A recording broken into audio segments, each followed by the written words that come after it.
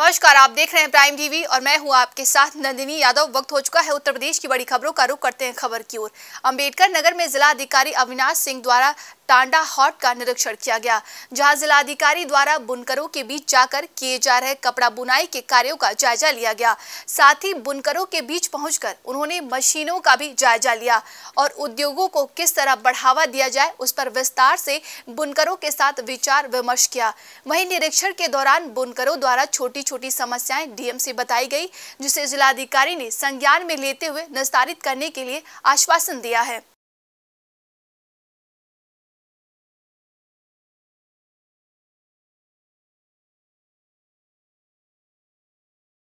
रमज़ान के महीना में हज यात्रा के लिए मुसलमान सऊदी अरब के मक्का जाते हैं और हर साल की तरह इस साल भी संभल से हज यात्रियों के जत्थे जाने हैं। लेकिन संभल में हज यात्रियों को दी जाने वाली सुविधाएँ ना के बराबर है। बताया जा रहा है कि हज यात्रियों को जब जाँच के नाम पर कभी जिला अस्पताल, कभी सामुदायिक केंद्र पर चक्कर लगाए तो उनमें आक्रोश पनपने लगा और उन्होंने ट्वीट के ज़रिए अपनी पीड़ा मुख्यमंत्री और डीएम को दी है। जी, वो हज जाने के लिए जो मेडिकल सर्टिफिकेट बनता है, उसके लिए आए थे यहाँ पर। और यहाँ तो बहुत बुरा हाल है हॉस्पिटल के अंदर, कोई भी सही बात बताने को तैयार नहीं है। मैडम जो बैठी हैं वहाँ हेल्प डेस्क के ऊपर, उनसे पता किया तो उन्हें कुछ मालूम ही नहीं है कहाँ पर हॉस्पिटल में कहाँ पर क्या चीज़ होनी है, क्या बात कहाँ होनी है, कौन सी जाँच कहाँ होगी। और फिर हम मिले चिकित्सा अधीक्षक से। उन्होंने भी कोई सही बात नहीं बताई। उन्होंने सीएचसी के ऊपर डाल दिया। सीएचसी वाले बोल रहे हैं कि हॉस्पिटल में बड़े में पूछो वहाँ होगा काम। लेकिन कोई भी काम नहीं हो पा रहा है। सुबह दस बजे से और भी काफ़ी सारे लोग हैं बहुत परेशान हैं। और यहाँ कोई भी सोल्यूशन नहीं हुआ। सात तारीख हज़रत क्या नाम है आपका? मेरा नाम मोहम्मद अनस है। अनस साहब जैसे कि आप यहाँ पर जिला अस्पताल पे जांचें कराने आए थे क्या आपकी जांचें हो चुकी हैं? नहीं जांचें कोई जाँच नहीं हुई है। कोई किसी तरह की सुनवाई नहीं हो रही है। मैं तकरीबन सुबह दस बजे से यहाँ पर हूँ। कोई कहीं भेजता कोई कहीं भेजता लेकिन कोई किसी तरह की इन्फॉर्मेशन कोई नहीं दे पा रहा आपके साथ में वो कौन आया है? मेरी वालदा आई हैं उनकी तबीयत भी अलील है। तबीयत ठीक नहीं है उनकी वो उनसठ साल की है। लेकिन अपने काम के खातिर भाग रहे इधर उधर लेकिन क्या- कोई भी सही इन्फॉर्मेशन नहीं दे रहा। यहाँ किस संबंध में आना हुआ था? क्या कराना है हमें? मैं हज का जो है मेडिकल सर्टिफिकेट बनवाने आया था। लेकिन कोई भी किसी तरह की क्या नाम है आपका? मोहम्मद राशिद। राशिद साहब यहाँ कैसे आना हुआ? हज के लिए जो गाइडलाइंस आई है कि सरकारी हॉस्पिटल की सरकारी डॉक्टर की मेडिकल चाहिए तो उस सिलसिले में आना हुआ था। कितना टाइम हो गया आपको? मुझे दो घंटे हो गए। क्या क्या परेशानी आपको फेस करनी पड़ी? है कि हमारे संभल में जिला संभल में दो सरकारी हॉस्पिटल है एक मुंसफी में और एक इधर।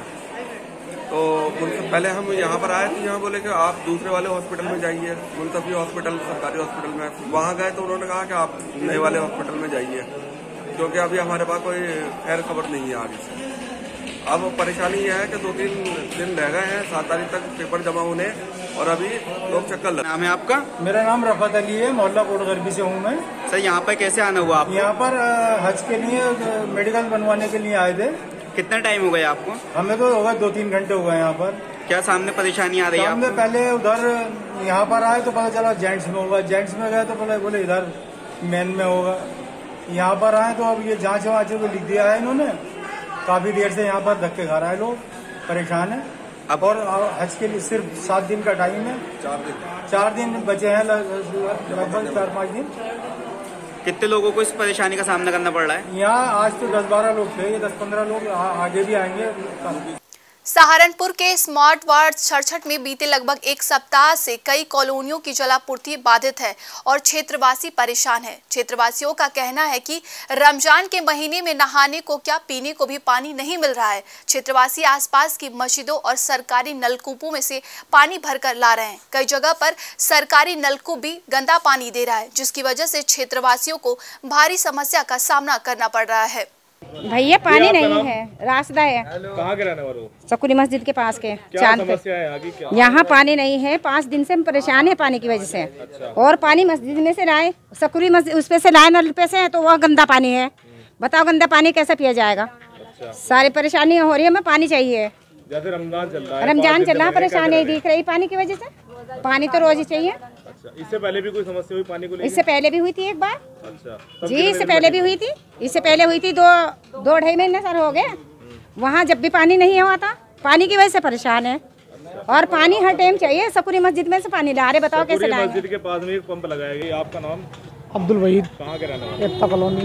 क्या समस्या है भाई साहब? समस्या यह है जी पानी की बहुत समस्या हो रही है रमज़ान के महीने में खास तौर से होती है। जुमे के दिन तो हमें पानी मिलता ही मिलता नहीं है। अच्छा। अच्छा दूसरी बात क्या इसका टाइम टेबल बाँध दिया गया कि बारह बजे मिलेगा और ग्यारह बजे मिलेगा दस बजे मिलेगा। पिछले रमज़ान में जाने जनरेटर लग जा करे करता अब वो जनरेटर भी नहीं लगता। कल भी पार्षद साहब ने टैंक खड़ा करवाया उनकी भी कोई सुनवाई नहीं हो रही आगे अधिकारी सुन नहीं रहे। बताओ क्या करे कोई गरीब आदमी हर आदमी बाल्टी उठाओ फिर रहा। सरकारी नलकों में सुविधा नहीं हो रही कोई ऐसी खास अब कितने दिन से पानी अब तो कम से कम जाने आज मुझे छः सात दिन हो गए पानी की दिक्कत हो रही है। अच्छा। जी। क्या मांग करे लगातार यही मांग कर रहे हैं पानी की हर आदमी परेशान है। बताओ क्या करें? रमज़ान का महीना है क्या आपका नाम? मोहम्मद नायब। कहाँ के रहने वाले हो? मैं इसी क्षेत्र का रहना हूँ यही सकूरी मस्जिद के बराबर पानी की क्या समस्या है? पानी की समस्या पाँच दिन से यहाँ बिल्कुल पानी नहीं है। पूरे क्षेत्र के अंदर पानी नहीं है। पार्षद जी से हम बार बार इस समस्या का समाधान के लिए रिक्वेस्ट कर रहे हैं ये अधिकारियों कह रहे हैं लेकिन इसके बावजूद भी पानी की कोई समाधान नहीं हो पा रहा है यहाँ पे। अच्छा। रमज़ान जैसे चल रहा है रमज़ान में कैसे कर रहे हैं मोहल्लेवासी लोग जो बहुत बहुत परेशानी का सामना करना पड़ रहा है। जो मस्जिद से कुछ मस्जिद से इस्तेमाल करा जा रहा है कुछ सरकारी नल का है।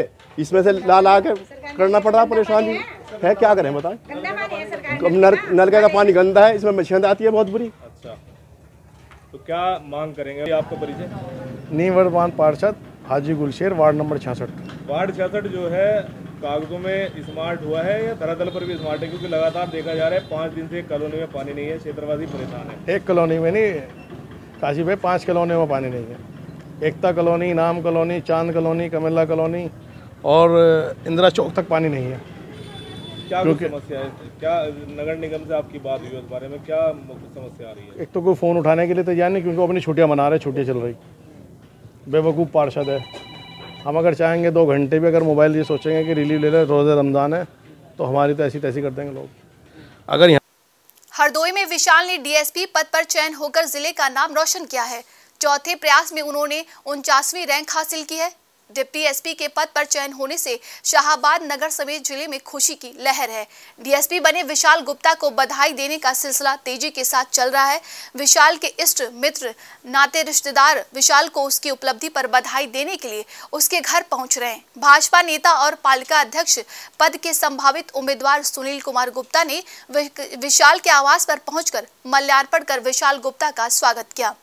आप एक छोटे शहर से डीएसपी जैसे पद पर पहुँचे हैं, क्या संघर्ष है आप और कैसे आप इस मुकाम तक पहुँचे हैं? जी सर, पहले तो बहुत बहुत धन्यवाद मुझे मौका देने के लिए। किसी भी छोटे शहर से एक सपने देखना वास्तव में एक बहुत चुनौती होती है, लेकिन जिस तरह से लोग चुनौती को पार करते हैं, मैंने भी अपनी प्रारंभिक शिक्षा यहाँ से करके ग्रेजुएशन किया और अपने यूपी यूपी पीसीएस और यूपीएससी दोनों की तैयारी में मैं लगातार लगा रहा है इसमें। और ये मेरा इसमें यूपी यूपी पीसीएस में चौथा प्रयास था। पिछले तीन प्रयासों में मेरा प्रीलिम नहीं हुआ था। इस बार प्रीलिम हुआ, फिर मेंस हुआ और इंटरव्यू भी हुआ। और मुझे डिप्टी एसपी के जो पद पे 49 संभल में जिलाधिकारी मनीष बंसल ने विकास खंड बहजोई के ग्राम पाठकपुर में किसानों की फ़सल उत्पादकता को लेकर स्थलीय निरीक्षण किया।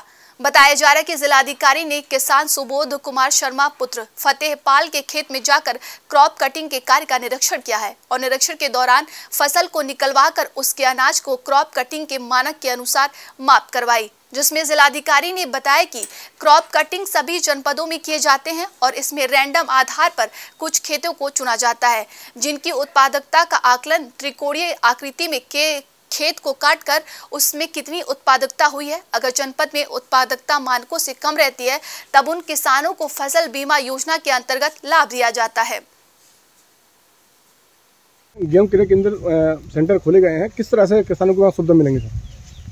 देखिए हमारे पूरे जनपद में अब तक इकसठ गेहूँ क्रय केंद्र खोले जा चुके हैं जो कि पूरी तीनों तहसीलों में विभिन्न स्थानों पर और मंडियों पर खोले गए हैं। इसमें किसानों को अपना जो गेहूँ है, वो अगर लेकर जाएँगे तो मिनिमम सपोर्ट प्राइस पर उनको अपना गेहूँ विक्रय करने में बहुत ही सुविधा मिलेगी। वहाँ पर किसानों की सुविधा के लिए अन्य जो आवश्यक चीज़ें हैं, छाया, पानी और बैठने की व्यवस्था, ये सभी चीज़ें करवाई जा रही हैं और सभी केंद्र प्रभारियों को बहुत ही सख्ती के साथ ये निर्देश दिए गए हैं कि किसी भी किसान को किसी भी प्रकार से परेशान ना किया जाए। अगर उसके गेहूँ में किसी भी औरैया में दिबियापुर थाने को बम से उड़ाने की धमकी दिए जाने के बाद पुलिस प्रशासन में हड़कंप मच गया है। बम से उड़ाने की सूचना पाकर जिला प्रशासन के आला अधिकारी और पुलिस के आला अधिकारियों ने मौके पर पहुंचकर निरीक्षण किया है। साथ ही अपर पुलिस अधीक्षक दिगंबर कुशवाहा ने इस मामले की जानकारी दी। वहीं एसओजी टीम और पुलिस टीम की ओर से युवक का लोकेशन से पता लगाया गया है और उसे पकड़ भी लिया गया है। आज दिनांक 8 चार 2023 को दिन के करीब दो बजे एक व्यक्ति द्वारा 112 पर कॉल करके यह सूचना दी गई कि मैं अफगान खान, पुत्र काले खान, गली नंबर उनचास, संजय नगर दिव्यापुर का रहने वाला हूँ। उस उधर से पूछा गया कि आपकी क्या समस्या है? तो इसके द्वारा कहा गया कि मैं 12 घंटे के भीतर दिव्यापुर थाने को बम से उड़ा दूँगा। उसके बाद इसने फ़ोन काट दिया और अपना फ़ोन ऑफ़ कर दिया। इस सूचना को सीरियसली लेते हुए थाना द्वारा मेरे द्वारा पूरे थाने को पर, परिसर को सर्च कराया गया। साथ ही साथ फिर सावधानी बस पहले बुलंदशहर में अनूप शहर के जेपी विश्वविद्यालय का वार्षिकोत्सव अंतिका 2023 और पुरस्कार वितरण समारोह धूमधाम के साथ मनाया गया, जहाँ छात्र छात्राओं ने मनोहारी सांस्कृतिक कार्यक्रम प्रस्तुत किए। इसके साथ ही मेधावी छात्र छात्राओं को पुरस्कृत भी किया गया। वहीं कार्यक्रम का शुभारंभ अतिथियों द्वारा माँ सरस्वती की प्रतिमा के समक्ष दीप प्रज्वलित कर किया गया और वार्षिकोत्सव में आए हुए सभी अतिथियों का विश्वविद्यालय परिवार की ओर से भव्य स्वागत किया गया। देखते ही बनता है। लेकिन आगे अनूप शहर के वासियों को क्या सौगात देना चाहते हैं? सर आपके जो काफ़ी आपके सपने पूरे हो रहे हैं आपको कैसा लग रहा है अब? मुझे ये मेरी सोच है जी सर। कि दुनिया के जो बढ़िया यूनिवर्सिटीज़ हैं अमेरिका की लंदन उसका मुकाबला करना चाहिए हमें। क्योंकि हमारे जो लेवल ऑफ़ इंटेलिजेंस है बच्चों में वो बहुत बहुत बड़ी है। जिसको चांस मिलता है, वही आगे निकल जाता है। ज़्यादातर अमेरिका में और लंदन में जो की पोस्ट हैं, आप देखिए, अब मिनिस्टर लेवल पे आ रहे हो, लंदन में, अमेरिका में। तो मेरे, मेरा यही है कि इन, जिन बच्चों को पिछले एक हज़ार साल से मौका नहीं मिला, और जो वेरियस रीजंस देश आज़ाद नहीं था तो ये अच्छी है कि पुरानी जो हमारी लेवल ऑफ़ इंटेलिजेंस है वो कायम रही। लेकिन अब मौका मिल रहा है तो उसमें हमको जितना बढ़ा सकें बढ़ बढ़ाते फिरोजाबाद के शिकोहाबाद थाना क्षेत्र में नकली और कच्ची शराब बनाने के गोरख धंधे का पुलिस ने छापा मारकर खुलासा किया है। साथ ही पुलिस ने मौके से एक युवक को भी गिरफ़्तार किया है जो इस गोरख धंधे का अंजाम दे रहा था। वहीं मौके से कुछ लोग फरार भी हो गए हैं जिनकी तलाश में पुलिस जुट गई है। देखिए, आगामी जो स्थानीय निकाय का चुनाव है, उसके, उसको ध्यान में रखते हुए जो प्रिवेंटिव एक्शन हम लोग कर रहे हैं, उसमें आज CO Sikohabad S H Sikohabad और जो है एक्साइज इंस्पेक्टर हैं इन लोगों की एक संयुक्त कार्रवाई हुई है, जिसमें हम लोगों ने सिकोहाबाद की बिहार कॉलोनी से एक राकेश बिहार को अरेस्ट किया है, उसके घर से और उसके पास से 240 लीटर कच्ची शराब और लगभग 200 लीटर लेहन, जिससे वो और भी शराब बना था, ये हम लोगों ने रिकवर किया है। ये राकेश गिहार पहले भी जेल जा चुका है। इसके ऊपर लगभग आधा दर्जन मुकदमे। प्रयागराज में लूट की घटना को कट्टे की नोक पर अंजाम दिया गया। फूलपुर थाना के पूरे बिहारी कप्सा मोड़ बिंद्रा फिलिंग स्टेशन पर लूट की घटना हुई। वहीं फूलपुर पुलिस के हाथ बदमाशों से दूर हैं।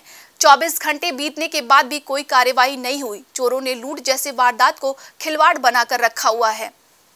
संभल के थाना क्षेत्र एचौड़ा कबोह के गाँव तार, तातारपुर में रोड ग्रामीणों ने चोरों को बेट्रो सहित पकड़कर पुलिस को सौंप दिया है। बताया जा रहा है कि लगातार बढ़ती चोरी की घटनाओं से परेशान ग्रामीणों ने कड़ी मेहनत के बाद दो चोरों को पकड़कर पुलिस के हवाला किया है और दो चोर भागने में सफल हुए वहीं थाना प्रभारी राकेश कुमार पुलिस बल के साथ घटनास्थल पर पहुँचे और बेट्रो सहित दोनों चोरों को थाने ले आए और कानूनी कार्यवाही में जुट गई है।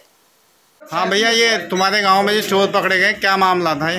ये साहब गन्ने भरे हुए ट्रैक्टर है कल शाम दो ट्रैक्टरों के बैटरी उतारे इन्होंने एक में रख दिए और एक में रखने के बाद में आज दोपहर एक बजे लेना आए ये हमने जो पकड़ लिए। उससे पहले दस दिन पहले दो ट्रैक्टरों के उन्होंने उतारे फिर मौसमपुर में उतारे इनका गैंग है पूरा बना हुआ है। कल जो बैटरी उतारे वो किसके थे? वो थे एक ब्रह्मपाल हैं और एक गुड्डू हैं। अच्छा। आपका क्या नाम है? मेरा नाम भूपेंद्र सिंह है। कहाँ के रहने वाले हैं? करतारपुर रोड। आपका क्या मामला है? मेरे भी बैटरी उतरे आपके कब उतरे थे बैटरी मेरे करीब दस दिन पहले उतरे। तो आज आप खबर कानपुर से है जहाँ पर संदिग्ध परिस्थितियों में घर में आग लग गई जिसके बाद पूरा घर जलकर खाक हो गया। आग की लपटें देखकर ग्रामीणों में हड़कंप मच गया। वहीं प्रत्यक्षदर्शियों के अनुसार नशे में होने की वजह से युवक ने घर में ही आग लगा दी। फायर ब्रिगेड और ग्रामीणों की मदद से आग पर काबू पाया गया। ये मामला महाराजपुर थाना क्षेत्र के दिबियापुर गाँव का है। बाराबंकी ज़िले के रामनगर तहसील सूरतगंज ब्लॉक के अंतर्गत करमुल्लापुर ग्राम पंचायत के परमेश्वरपुरवा में सिलेंडर फटने से लगी आग से एक दर्जन से अधिक घरों की सामान जलकर वहाँ पर राख हो गया। बताया जा रहा है कि सुबह अचानक घरों में आग लग गई और एक दर्जन से अधिक घरों की कई सामान जलकर राख हो चुका है। वहीं पर तहसील प्रशासन अपने लेखपाल कानून को भेजकर जाँच करा रहे हैं और राहत सामग्री देने का प्रयास कर रहे हैं। तक लगी रहा नौ बज के बीस मिनट। कोई तहसील से अग्निशमन गाड़ी आई नहीं हाँ, है आई है। लगभग कितने घर जले हैं? लगभग दस घर। अच्छा कौन से गाँव है? करमुल्लापुर है। परमेश्वरपुरवा। परमेश्वरपुरवा परमेश्वरपुरवा है। आग कैसे लगी रहे? आग ऐसे सब लोग खेत में चले गए पता नहीं कैसे लग गई। ठीक है कुछ तहसील प्रशासन से कुछ राहत सामग्री दी गई है? हाँ तिरपाल पल्ली मिला है। खाने की सामग्री क्या दी गई है? चावल कोटेदार धीने बुढ़िया कौन सा गाँव है? करमुल्ला। करमुल्लापुर परमेश्वरपुरवा तहसील ब्लॉक? हाँ ब्लॉक है सूरतगंज तहसील रामनगर। आपका नाम क्या है? नंद कुमार।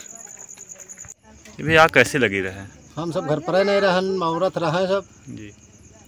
औरत रहा हम सब मंजूरी करी रहन मंजूरी करके आन तब देखा सब घर कुरिया सब जला पड़ा। आप नहीं लोग मिला। अच्छा सामान लोग। नहीं मिला है। निकाल मिला। सब लमसम ही टोल मोहल्ले में कितने घर जले हैं? बारह। बारह घर जले हैं। आप लोग बारह घर में बारह बारह लोग मतलब सब मंजूरन करे वाले आए। मंजूरी अपन कर रहे हैं। अब मंजूरी करे के टाइम रहे तो अपन सब निकल गया साढ़े नौ बजे है, आग तब- लगे आठ बजे के काम लगा था आठ बजे सब निकल गए रहे। क्या आवा आप लोगों का आवास नहीं बने हैं क्या अभी तक? नहीं, नहीं आवाज़ बनबे नहीं ये आग कैसी लग गई रहा है? आग कैसी लगी? नौ बीस पर लगे। आग कैसे लगी है? आगे अब हम दसरे घर का काज नहीं आगे बार बारह रहता हम जान पूरे घर का कितने खन बड़े हैं ये? नौ बजे। नौ बजे हैं। नौ बीस आपके लोगों को नुकसान कैसा का हुआ है? नुकसान हमारा सब होएगा कुछ नहीं बचा है। ये तिरपाल मिले हैं तो कहाँ से मिले हैं? पहले पैसे लिए हैं नहीं मिलेंगे? बटे प्रधान ले अच्छा। हम्म, प्रधान नहीं।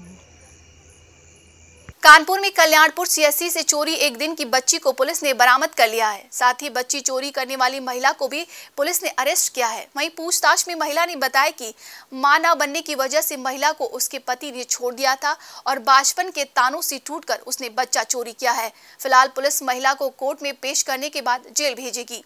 थाना राजपुर, जनपद कानपुर देहात पर मुखबिर खास के द्वारा ये सूचना दी गई कि ग्राम गुआर थाना राजपुर में एक महिला एक नवजात शिशु के साथ में संदिग्ध अवस्था में देखी जा रही है।